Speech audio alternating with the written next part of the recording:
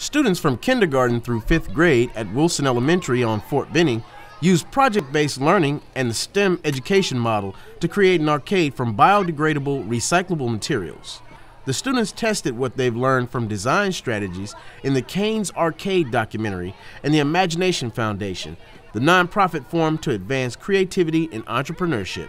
This project, spearheaded by their science, technology, engineering, and math teacher, Jenna Moore, gave them opportunities to combine skills learned in class and expand on ideas promoted by the success of the original idea from Caine Monroy. Project-based learning um, usually starts with a driving question. Um, the students have to work collaboratively with groups to create an arcade game that um, encompasses different types of standards and force of motion. Caine's Arcade was a catalyst for the research methodology used to solve engineering and math questions while incorporating physical challenges and recyclables in the project. The students were responsible for gathering materials and conceptualizing the designs and challenges associated with the various games.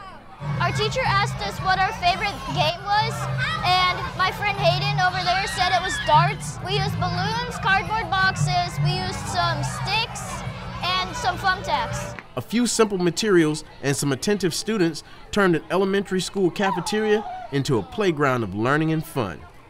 The Imagination Foundation has grown and inspired the Cardboard Challenge, raising nearly a quarter of a million dollars in over 270 events across 41 countries. Courtney Woody, Fort Benning, Georgia.